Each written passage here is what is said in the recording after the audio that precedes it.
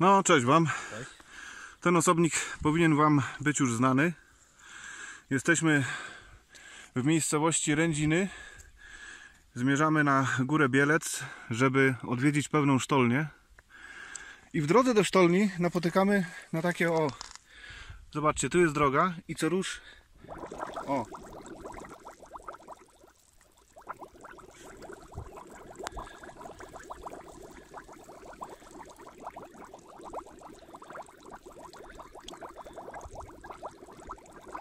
i za chwilę przestanie.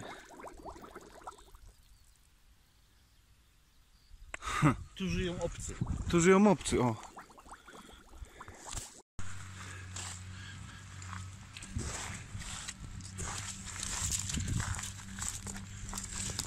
Dochodzimy do czynnej odkrywko- od- odkrywkowej kopalni dolomitu. Uwaga, przodek czynny.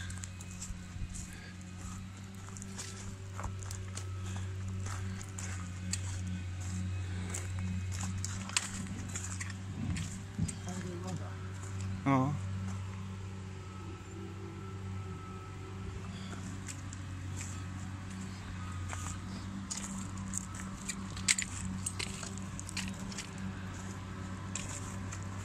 Tam gdzieś słychać koparkę, nie? Czy coś.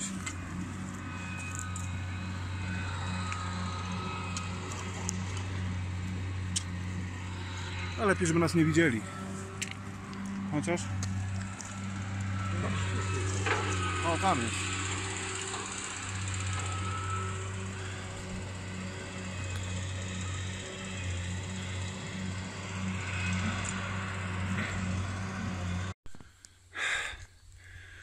Szukamy jeszcze takiej jednej sztolni, która miała być po drodze do tej sztolni, do której się wybieramy.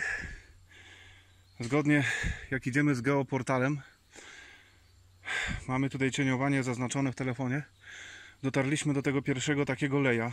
Nie wiem, to wygląda nie jak wlot sztolni, a raczej jak jakiś zasypany szyb. I co Maciek, tam wyżej coś masz?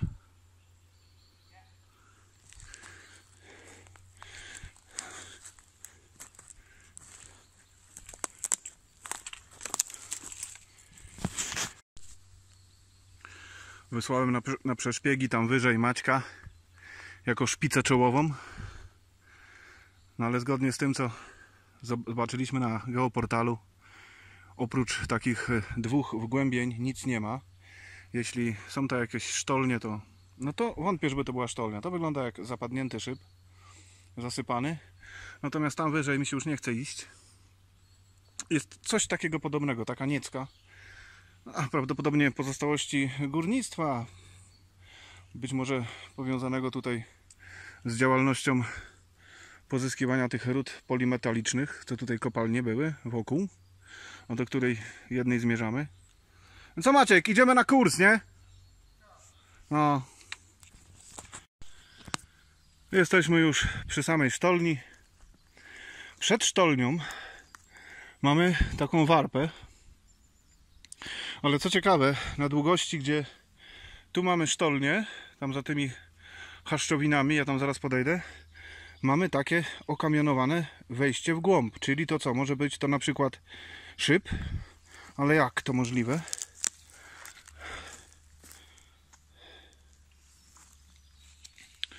Podejdziemy do samej sztolni.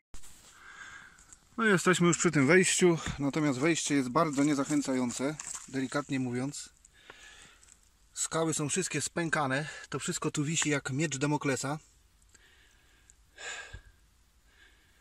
Jednym słowem, idący na śmierć pozdrawiają Cię, jak mawiali w Rzymie gladiatorzy. Zobaczymy, tu jest za wąsko jak na mnie. To znaczy inaczej, ja bym tu weszedł, natomiast nie możemy pod żadnym pozorem ruszyć skał, które znajdują się nad nami. Ani kaskiem, ani brzuchem.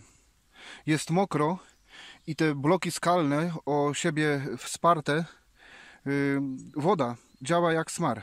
To wszystko może zadziałać jak wielka taka hydrauliczna praca. No nic, będziemy to udrożnić.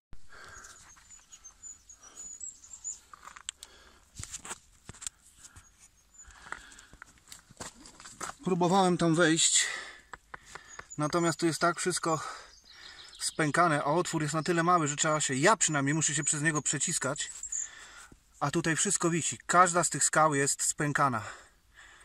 Jedno ruszenie czegoś spowoduje, że ten wlot się zamknie i zgilotynuje człowieka w pół. Dla mnie temat jest nie do przeskoczenia. Z racji mojej tuszy. Tutaj to jest tylko sztolnia dla Leona.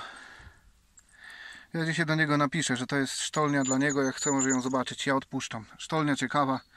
I chyba zaczynam się od dzisiaj odchudzać. Dobra, to tyle z naszej wycieczki, nie Maciek? Odpuszczamy. Odpuszczamy. Logika nakazuje. Dobry eksplorator to jest też ten, który wie, w którym momencie się wycofać. Zobaczcie, już się pakowaliśmy po naszej próbie wejścia.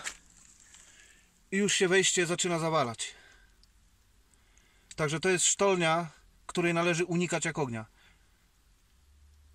Leon, jeśli byś tu kiedyś chciał wejść, to pamiętaj. Oczy dookoła głowy. Ale w tej chwili ona się samoistnie za, zapada. W tej chwili te bloki skalne odpadły. Ja pierdolę. Dobra.